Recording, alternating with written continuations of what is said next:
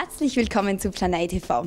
Das erste Rennen der FIS Alpinen Ski-WM in Schladming ist heute über die Bühne gegangen. Der Super-G der Damen. Welche Sportlerin auf der 2194 Meter langen Strecke die Nase vorne hatte, erfahren Sie jetzt. Ein Nervenkrimi war der Super-G der Damen bereits vor dem Start.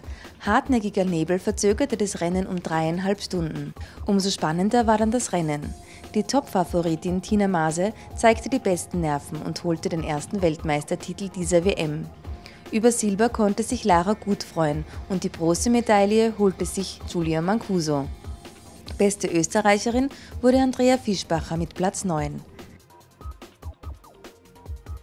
In der Nationenwertung liegt somit Slowenien vor der Schweiz und vor den USA. Morgen werden dann die Herren um die ersten Medaillen kämpfen. Um 11 Uhr geht's los. Der Super-G der Herren steht am Programm und es werden bis zu 35.000 Fans in der WM-Arena erwartet.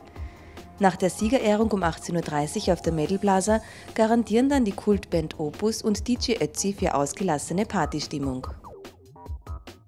Weitere Infos rund um die FIS Alpine Ski-WM sowie die genauen Ergebnisse der einzelnen WM-Rennen finden Sie unter www.planei.at oder unter www.schlappming2013.at.